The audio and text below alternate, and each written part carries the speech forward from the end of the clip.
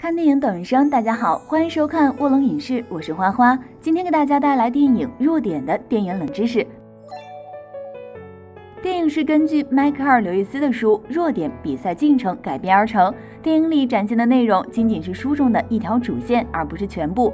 导演说，整个电影中最难找的演员就是男主了，因为现实生活中的奥赫是一个标准的大块头，要找到这种类型的演员是非常困难的。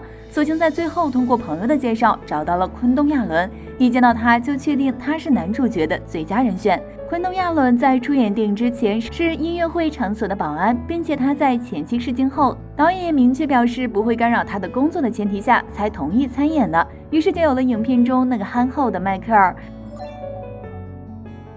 在影片中，除了主演迈克尔，善良的讨喜太太也是一个亮眼的存在。